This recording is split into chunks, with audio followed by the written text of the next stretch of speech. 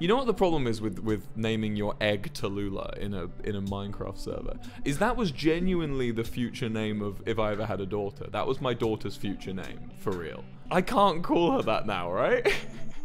That's out the window because everyone will just be like, "Oh, you've named your daughter after an egg." It's my it's it was it's it's my mum's name for me if I was ever born a girl. Now it's just the egg name. I want it back.